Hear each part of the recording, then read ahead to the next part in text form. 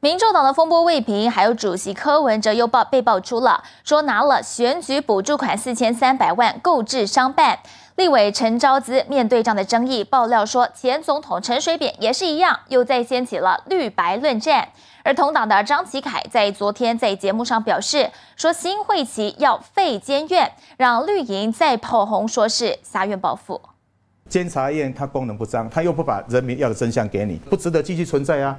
他的他的这个机关的钱就是应该砍掉啊！民政党主席柯文哲深陷政治现金风暴，同时立法院新会期即将展开，面对白银废监院主张，绿营炮轰狭院报复。蓝白果然是哥俩好一对宝，也都不学好，为修宪而修宪，他是国人难以接受，这是错误的宪政操作。自打嘴巴，上个会期。